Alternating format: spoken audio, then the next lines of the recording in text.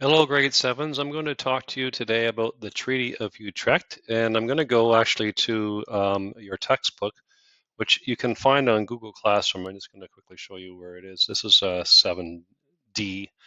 There's a section called Nelson History Textbook. It's chapter one, but I'm actually going to use my iPad to show you this. So just give me a second here.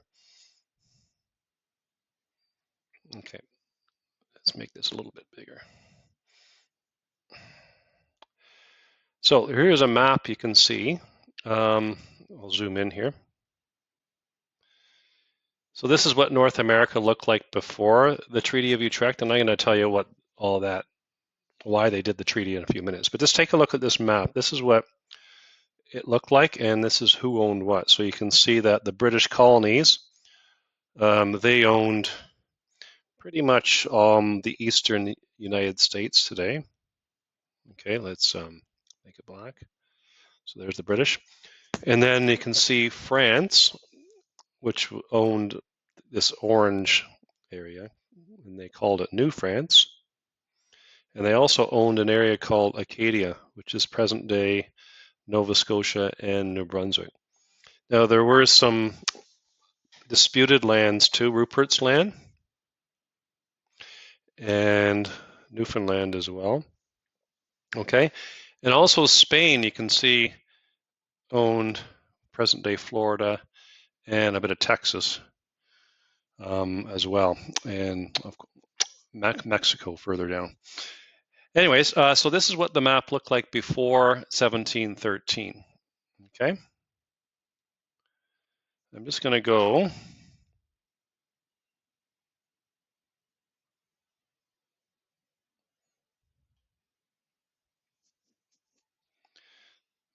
So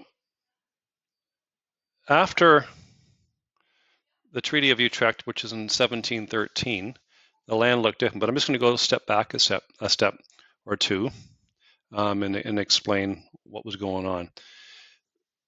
So, uh, 1700, the King of Spain, his name, his name was Charles II. He died, and there was no heir, no one would to take over.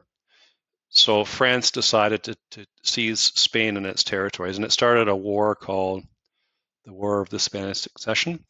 The United Kingdom, which you may not know, was actually formed in 19 or 1707 when England and Scotland united, and they um, fought against France um, with other European countries. Anyways, that war went on for a while, and it led to something called the Treaty of Utrecht, in 1713. Okay? So after that, the map looked a little bit different. Okay, so you can see that um, British colonies are still here. Rupert's Land, which was disputed a disputed area. Remember, the First Nations are, are all, all throughout here as well.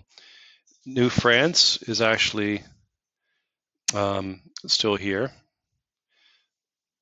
But there is a disputed area here, and there's also a disputed area here. Now, one key difference that you'll see is um, that Nova Scotia, um, which used to be owned by the French, um, otherwise it was called Acadia, is now owned by Britain. Except this island here, that's present-day Cape Breton Island, and um, Prince Edward Island, you can see, is still owned by the, the French as well. Newfoundland, which was uh, disputed earlier, is now owned by Britain. Okay, so I'm just setting you, uh, giving you the back, background of um, what was going on and, and how the the Treaty of Utrecht, which is basically a peace treaty for that big war I was telling you about, um, uh, how it affected the map. So we're going to talk a bit more about some other key groups in here. Um, and a lot of the, what happens uh, is, is a result of this treaty. Okay, I hope it makes more sense to you. If you have any questions, please let me know.